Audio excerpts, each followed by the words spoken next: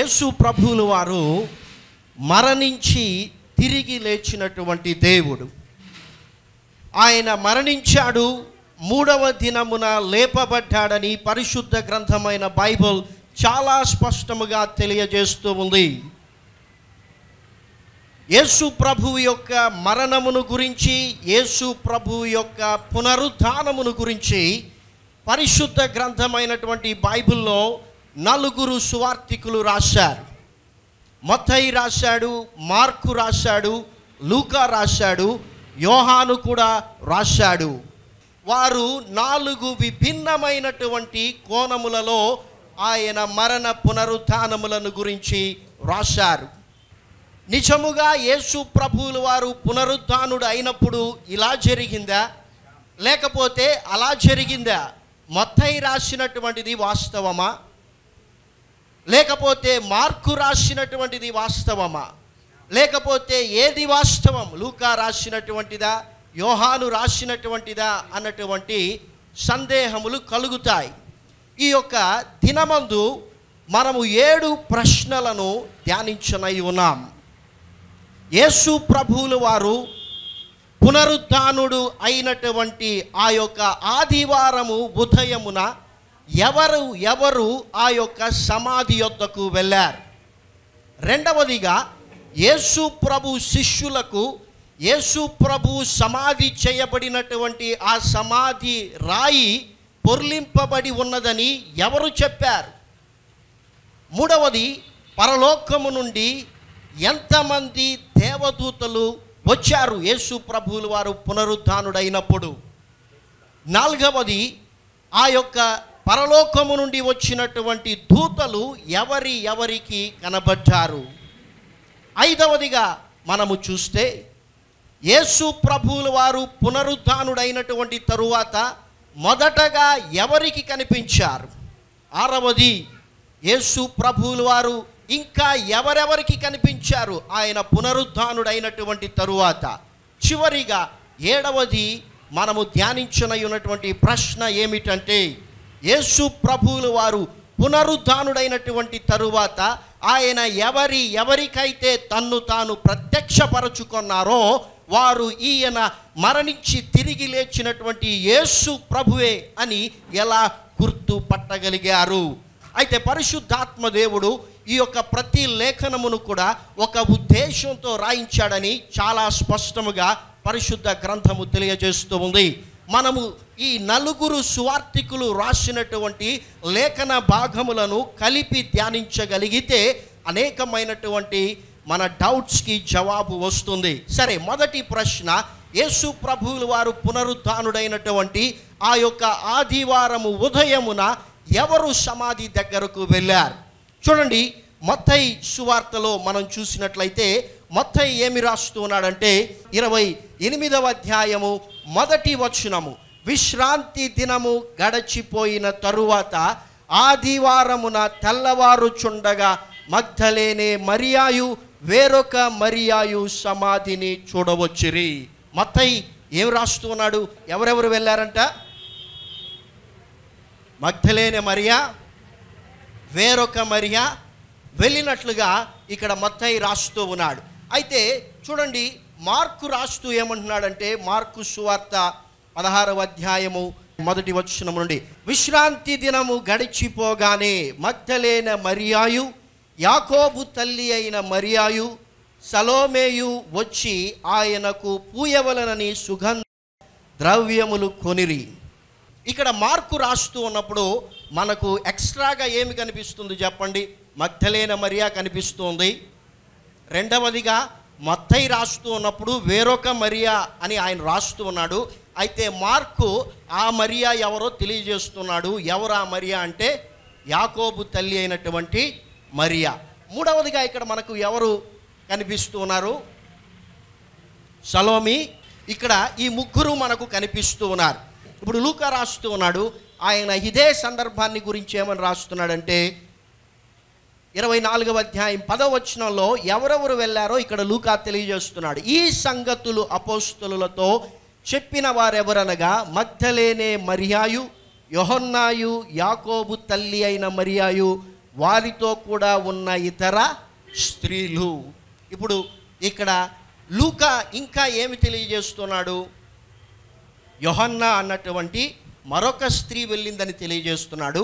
అంత మాత్రమే కాదు మగ్ధలేన మరియాతో యాకోబు తల్లి అయినటువంటి మరియాతో యొహన్నాతో సలోమీతో ఇంకా ఇతర స్త్రీలు కూడా వెళ్ళారు. ఒకవేళ మీరు మత్తయి సువార్త చదివినప్పుడు ఎందుకు మొత్త ఇలానే రాశాడు మార్క్ ఎందుకు అలానే రాశాడు లూకా ఎందుకు ఇక్కడ ఇంకా కొంతమందిని యాడ్ చేస్తున్నాడు అని మనము ప్రశ్నించుకుంటే మనము ఏ కోణములో నుండి అయితే చూస్తామో ఆ కోణమే మనకు కనిపిస్తుంది. ఉదాహరణకు ఇక్కడ మన దగ్గర రెండు కెమెరాస్ ఉన్నాయి. ఒక కెమెరా ఇటు సైడు నాకు కుడివైపున ఉంచబడింది కాబట్టి ఈ యొక్క సిలువ వెనకాల ఉన్నట్లుగా కనిపిస్తుంది. అయితే నా ఎడమ వైపు ఇంకొక కెమెరా ఉంది. నా ప్రక్కన ఈ ప్రొజెక్టర్ ఉన్నట్లుగా చూపిస్తుంది. కానీ నా వెనుక ఏముందో ఆ యొక్క కెమెరా చూపించదు. ఈ కెమెరా నా వెనుక ఏముందో చూపిస్తుంది కానీ నా ప్రక్కన ఏముందో చూపించలేదు. అంటే వారు రాస్తున్నవన్నీ కూడా వాస్తవాలే. అందుకే ఈ నాలుగు సువార్థికులు రాసినటువంటి అంశములన్నిటినీ కూడా మనము కలిపి ధ్యానిస్తే అనేకమైనటువంటి ఆత్మీయ సత్యాలు నేర్చుకోగలుగుతాం. సరే మొదటి ప్రశ్న ఏమిటి? యేసు ప్రభువుల వారు ఆదివారమున ఆయన పునరుద్ధానుడైనప్పుడు ఎవరు ఎవరు సమాధి దగ్గరికి వెళ్ళారు? చెప్పాలి మీరు. Magdalena Maria? యాకోబు తల్లి అయిన మరియా? సలోమి? యోహన్నా వీరు నలుగురు కాకుండా ఇంకా ఎవరు వెళ్ళారు? ఇతర స్త్రీలు కూడా వెళ్ళారు. సరే మనము రెండవ ప్రశ్నను చూసినట్లయితే వెళ్ళినటువంటి ఈ స్త్రీలలో ఎవరు యేసు ప్రభు శిష్యులకు ఆ సమాధి రాయి దొర్లింపబడి ఉన్నదని తెలియజేశారని చూస్తే ఈ విషయాన్ని యోహాను చాలా స్పష్టంగా రాస్తున్నాడు. యోహాను సువార్త ఇరవయో అధ్యాయము మొదటి వచనము నుండి ఆదివారమున ఇంకను చీకటిగా ఉన్నప్పుడు మగ్ధలేనే మరియా పెందలక్కడ సమాధి వద్దకు వచ్చి సమాధి మీద ఉండిన రాయి తీయబడి ఉండుట చూచెను. గమనించండి వీరందరూ కూడా ఈ నలుగురు స్త్రీలు వీరు కాకుండా ఇతర స్త్రీలు కలిసే బయలుదేరారు. వెళ్తూ ఉండగా కొద్దిగా దూరంలోనే వారికి కనిపించింది అడ్డుగా ఆ సమాధికి వేయబడినటువంటి రాయి దొర్లించబడి ఉందని. సో ఈ యొక్క మరియా ఏం చేసిందంటే ఇతర స్త్రీలను విడిచిపెట్టి ఆమె పరుగులు తీసినట్లుగా మనం చూస్తాం. కిందికి వద్దాం రెండవ వచనం. గనుక ఆమె పరుగెత్తుకొని సీమోను పేతురునొద్దకును యేసు ప్రేమించిన ఆ మరి యొక్క శిష్యుని యొద్దకును వచ్చి ప్రభువును సమాధిలో నుండి ఎత్తుకొని పోయిరి ఆయనను ఎక్కడ ఉంచిరో ఎరుగమని చెప్పెను. మిగిలినటువంటి స్త్రీలందరూ కూడా సమాధి దగ్గరికే వెళ్తూ ఉన్నారు.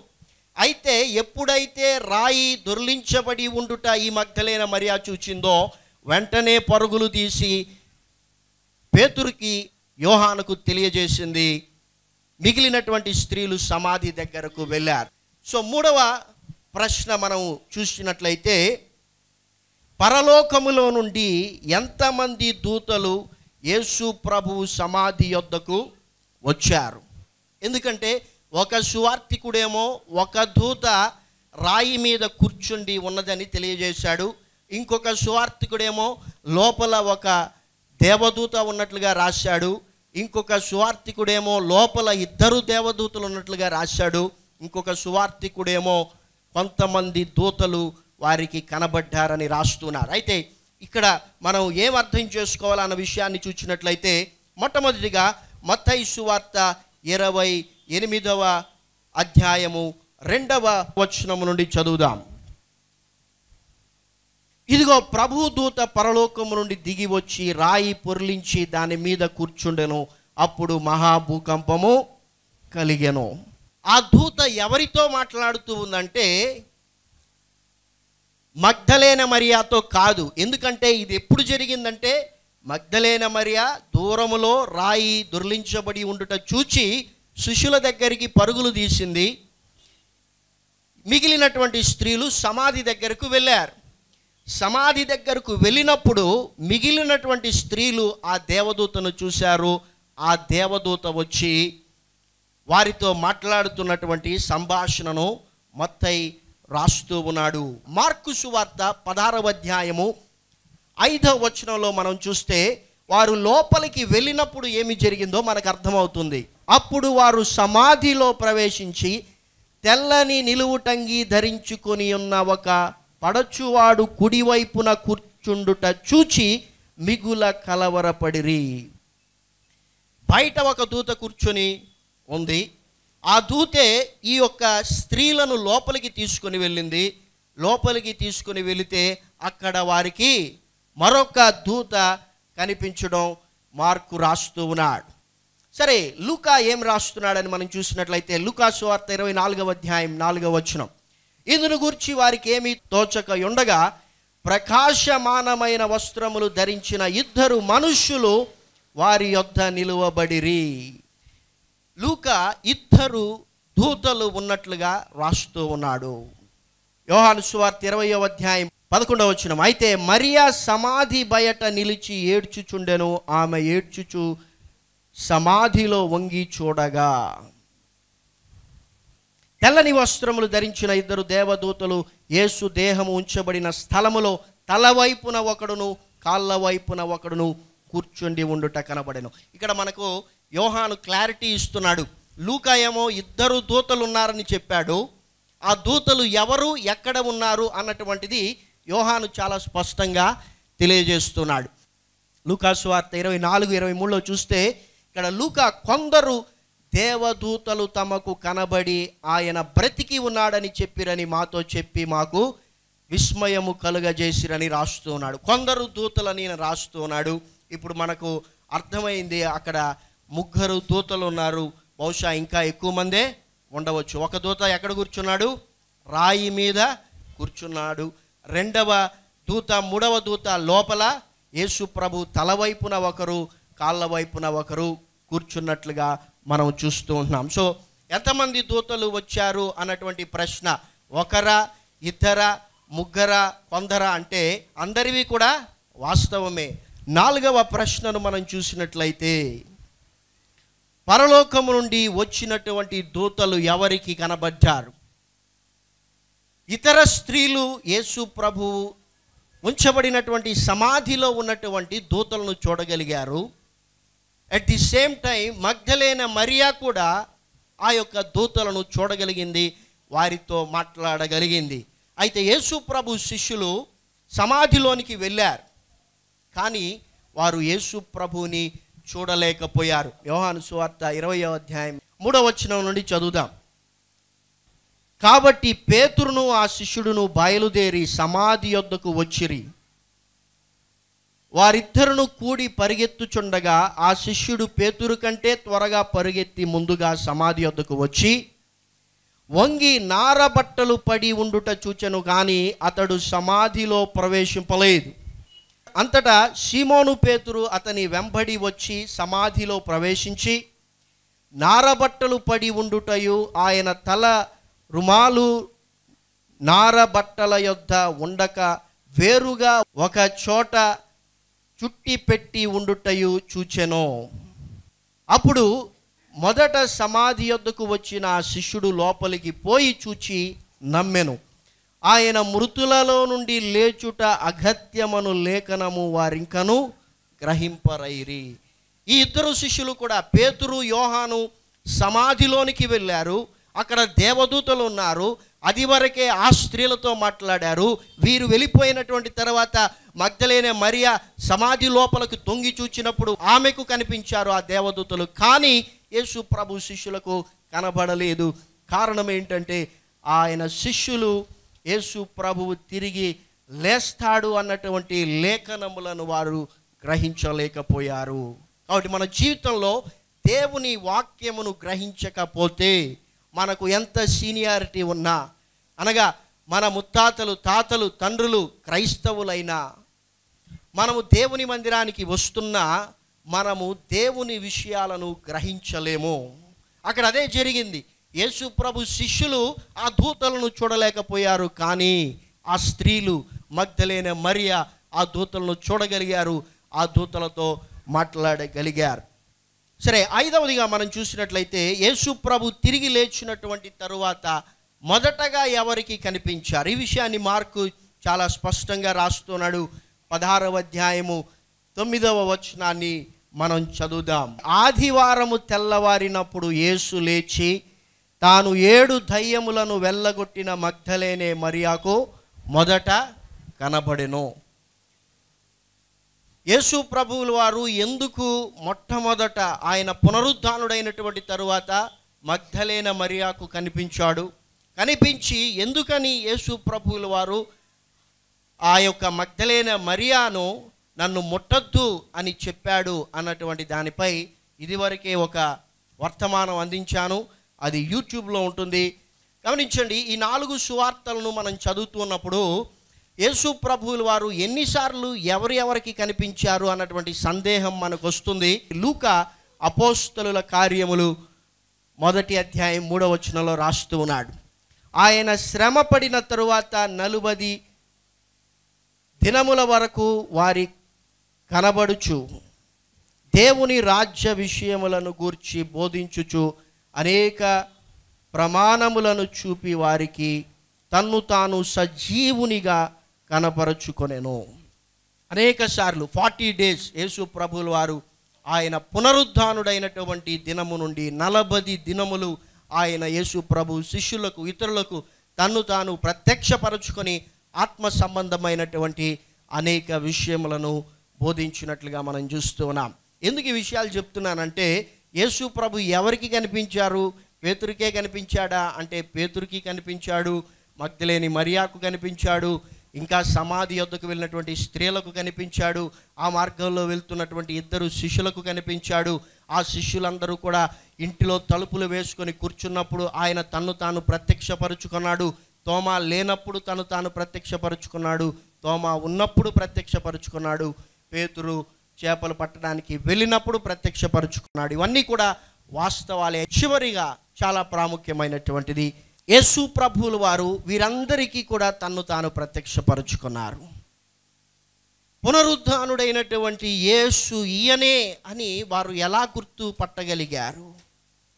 మన ఆత్మీయ జీవితంలో కూడా యేసు ప్రభువు పునరుద్ధానుడై ఉన్నాడు అన్నటువంటి సత్యాన్ని మనము ఎలా గ్రహించగలుగుతాం? ఎలా దాన్ని మనం అర్థం చేసుకోగలుగుతాం. లేకపోతే పునరుద్ధాన శక్తిని మన జీవితాలలో ఎలా మనము పొందుకోగలుగుతాము అన్నటువంటి ప్రశ్నలు వేసుకుంటే యేసు ప్రభువులు వారు తన్ను తాను ప్రత్యక్షపరచుకున్నటువంటి నాలుగు సందర్భాలలో వారు ఎలా గుర్తుపట్టారో పరిశుద్ధ గ్రంథమైన బైబుల్ తెలియజేస్తోంది. మనం చూచాము మొట్టమొదటిగా యేసు ప్రభువుల వారు ఎవరికి తను తాను ప్రత్యక్షపరుచుకున్నారు? మధ్యలేనే మరియాకు యేసు ప్రభువుల వారు తను తాను ప్రత్యక్షపరుచుకున్నారు. సో యేసు ప్రభువుల వారిని ఆ మరియా ఎలా గుర్తుపట్టగలిగింది అని మనం చూసినట్లయితే యోహాను సువార్త ఇరవయో అధ్యాయము పదారవ వచనం.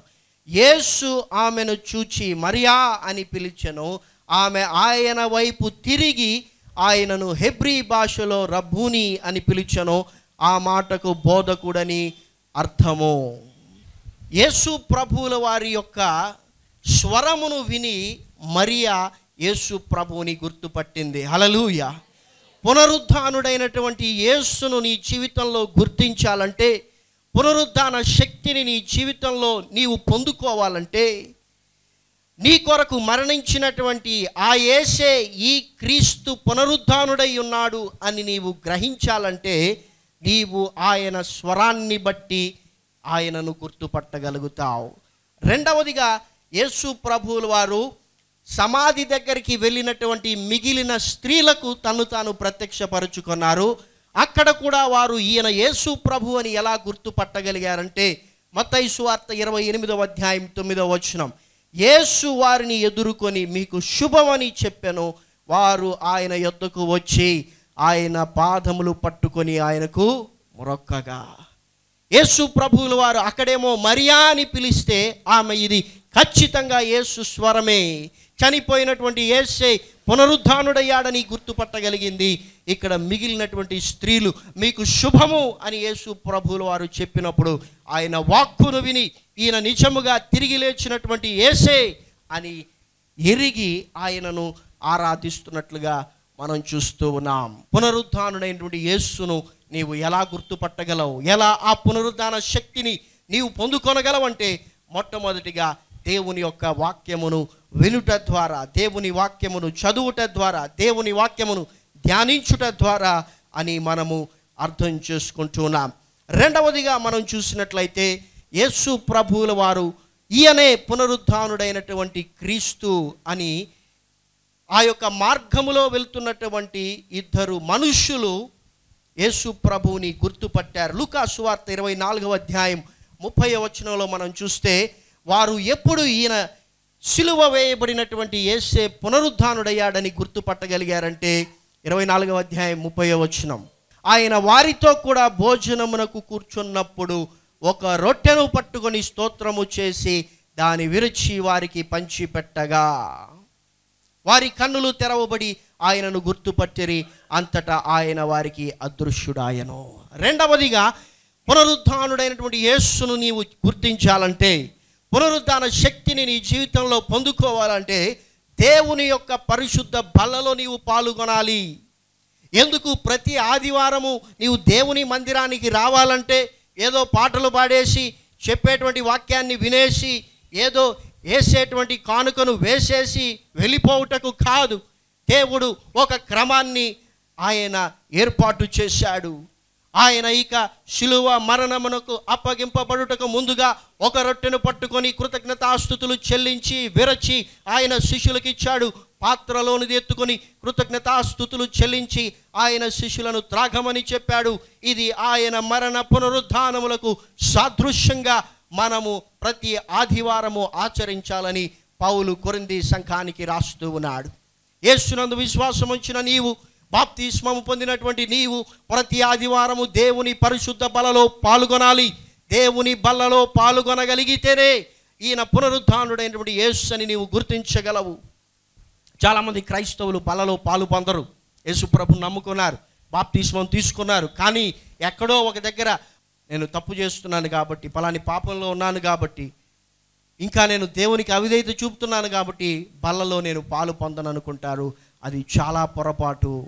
ఒకవేళ నీవు తప్పు చేస్తూ ఉంటే ఒకవేళ నీవు పాపంలో ఉంటే బల్ల తీసుకొనుటకు ముందుగా నీ జీవితాన్ని దేవుని సన్నిధిలో సరి చేసుకోవాలి అందుకే మనము పరీక్ష చేసుకొనుటకు పరిశీలన చేసుకొనుటకు కొంత సమయం మనకు ఇవ్వబడుతుంది.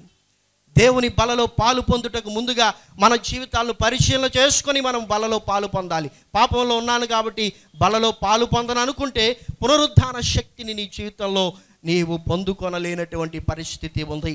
సరే మూడవదిగా మనం చూసినట్లయితే యేసు ప్రభువుల వారు ఆయన శిష్యులకు ప్రత్యక్షపరచుకున్నప్పుడు ఆయనే మృతులలో నుండి లేచినటువంటి యేసు అని వారు ఎలా గుర్తుపట్టగలిగారంటే లూకాసు వార్త ఇరవై నాలుగవ అధ్యాయము నలభై ఒకటో వచ్చిన చదువుదాం. అయితే వారు సంతోషము చేత ఇంకను నమ్మక ఆశ్చర్యపడుచుండగా ఆయన ఇక్కడ మీ వద్ద ఏమైనా ఆహారము కలదా అని వారిని అడిగాను. నలభై రెండో వచనం వారు కాల్చిన చేప ముక్కను ఆయనకి ఇచ్చిరి. సరే ఇక్కడ మనం నేర్చుకోవలసినటువంటి ఆత్మీయ పాఠం ఏంటంటే పునరుద్ధానుడైనటువంటి యేస్సును నీవు గుర్తించాలంటే పునరుద్ధాన శక్తిని నీ జీవితంలో పొందుకోవాలంటే నీవు దేవుణ్ణి స్థుతించే వ్యక్తివిగా ఉండాలి. మనము దేవునికి ఏదైనా ఇవ్వగలము అంటే అది కేవలము దేవునికి మనము అర్పించేటువంటి స్థుతి మాత్రమే.